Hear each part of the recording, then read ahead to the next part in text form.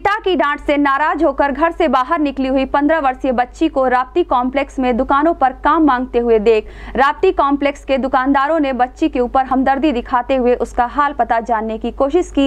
इस दौरान उक्त बच्ची द्वारा अपनी आप बीती बताने पर भावुक हुए दुकानदारों ने बच्ची को खाने पीने की चीज़ें मुहैया कराने के साथ उसको अपने परिवार तक पहुँचाने के लिए गोरखपुर न्यूज़ की मदद से दस अंठानवे पर सूचना देकर चाइल्ड लाइन गोरखपुर के माध्यम से भेजने का प्रयास किया। इस दौरान दस अंठानवे की सूचना पर चाइल्ड लाइन गोरखपुर की सदस्य नीलम सिंह और राकेश पांडे राप्ती कॉम्प्लेक्स पहुँचे और 15 वर्षीय रिया पुत्री बहुबली चौहान निवासी ट्रांसपोर्ट नगर जनपद गोरखपुर को अपनी कस्टडी में लेते हुए शाहपुर थाने जाकर जीडी में मामले को पंजीकृत कराने के पश्चात सीडब्ल्यूसी संस्थान के समक्ष बच्ची को पेश किया, जहाँ से उसे सीडब्ल्यूसी द्वारा प्रतीक्षा सेंटर खोराबार को सुपुर्द किया गया।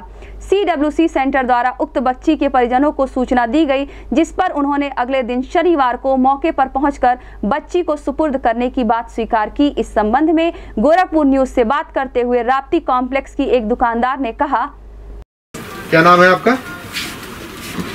नाम बताइए। रो नहीं। रो मत बेटा। प्रीति। कैसे यहाँ आ गए? गोरखपुर कैसे आ गए? कैसे भटक के आ गए? काम के लिए आए थे? और कौन है घर में? मम्मी पापा क्या बर्ताव अच्छा नहीं है क्या? व्यवहार अच्छा नहीं करते हैं क्या? मारते पीटते हैं। इसलिए तुम यहाँ आई क्या? काम करने के लिए? घर जाना चाहती हो? और काम भी करना चाहती हो? साथ में कौन आया था? दो लोग हैं। बहन एक बहन भी साथ बहन हो और तुम हो? बहन कहाँ है? काम करने गई है उधर खोजने गई है। काम खोजने गई कहीं कैसे फिर मिलोगे तुम लोग? आठ बजे आएगी रूम पे। रूम कहाँ है तुम्हारा? नॉर्मल। नॉर्मल पे? यहाँ तुम काम ढूँढने आई थी? अभी कहीं काम मिला तुम्हें? घर जाओगे आप?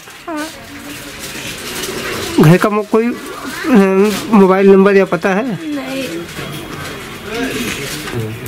क्या मांगने आएगी काम अंकल जी को काम दे दीजिए हम वही थोड़ा क्यों काम करना चाहती हो? माँ बाप का बर्ताव अच्छा नहीं घर पे बाप मारते हैं। अच्छा। तुम्हारी बहन आज काम ढूँढने गई है? इसके पहले भी कहीं काम करती थी? आज ही आई हो?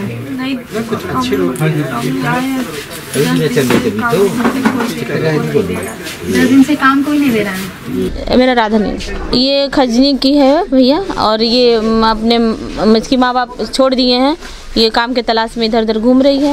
इसको हाँ आप मेरे राप्ती कॉम्प्लेक्स में है इसको घर पहुँचाने का प्रयत्न किया जा रहा है। कितनी उम्र होगी बच्चे की?